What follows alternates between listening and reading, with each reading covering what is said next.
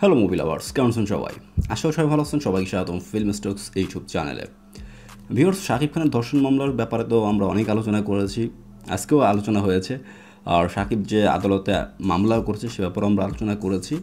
তবে একটা ব্যাপার থাকে, সেটা হচ্ছে যে এটা তো আমাদের এখানে ঘটতেছে। তবে অস্ট্রেলিয়ায় ওই দিন এবং ওই দিনের পরে কি ঘটেছিল, এই মুহূর্তে কি ঘটছে? কারণ ওইখানে মূলত আসল ঘটনা ঘটেছিল। ওইটাই হচ্ছে আসলে সব ঝামেলার মূল। বা ওইখানেই যে এই যে মামলাটা স্যার মামলার যে মূল বিষয়, যে ধর্ষণ হোক বা যে ক্রিমিনাল অ্যাক্টিভিটিস হোক, সেটা তো ঘটেছিল ওইখানে। তো ওইখানে একটু ফোকাস করতে হবে।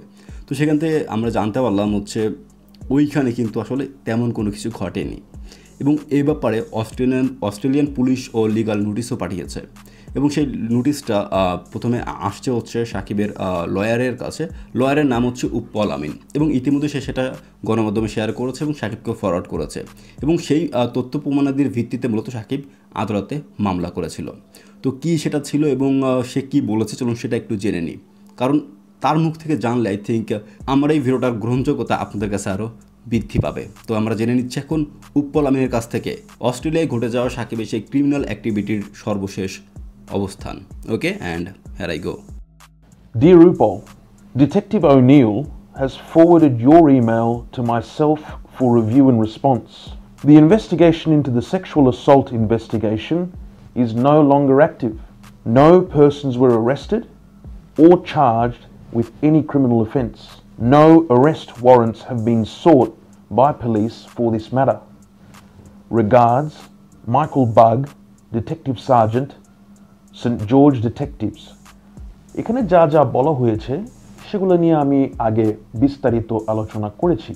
তারপরেও আমি একটু সংক্ষেপে আপনাদেরকে বলছি। এখানে বলা হয়েছে যে যেই সেক্সুয়াল অ্যাসল্ট কমপ্লেনটা দেওয়া হয়েছে, তার তদন্ত সম্পূর্ণ শেষ।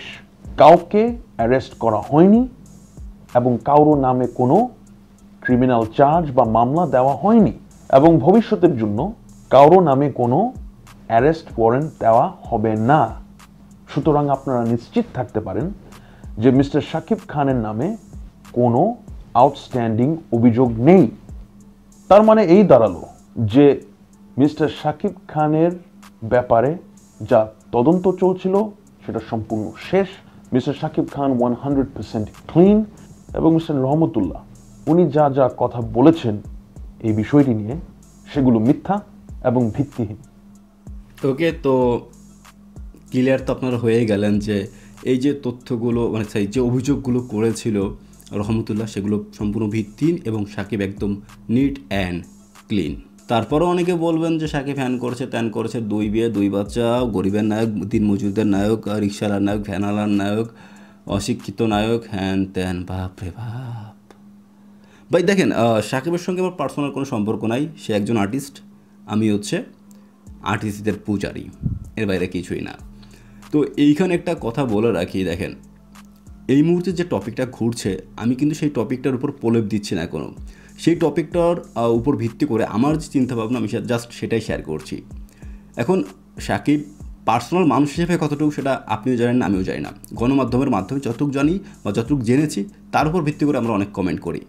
তো আমার কাছে কিন্তু সাকিব পার্সোনালি কেমন সেটা খুব একটা ম্যাটার করছে না। সাকিব একজন অ্যাক্টর সে সিনেমাও তৈরি করে এবং সে আমাদের ইন্ডাস্ট্রির সবথেকে বড় স্টার এর জন্য এত কিছু বলা। আমি কিন্তু বলছি না যে সাকিব একদম হান্ড্রেড পার্সেন্ট নির্দোষ এবং সেটা বলার রাইটও আমার নাই, আবার আবার বলতেও পারি না যে সাকিব হান্ড্রেড পার্সেন্ট দোষী। ওটা বলার রাইটও আমার নাই। আমি জাস্ট এই যে বিষয়গুলো ঘটছে, এই বিষয়গুলোর উপর যে তথ্যগুলো আমার সামনে আসতেছে, সেগুলো যাচাই করে আমার যেটা মনে হচ্ছে আমি জাস্ট সেটাই শেয়ার করছি। দ্যাটস ইট এর বাইরে কিন্তু কিছুই না। চাইলে তো আপনারাও আপনাদের মতামত আমাকে কমেন্টে জানাতে পারেন। তো আশা করছি সেটা আপনারা করবেন এবং যদি আজকের ভিডিওটি ভালো লাগে, তো like comment share and street film stocks ধন্যবাদ সবাইকে।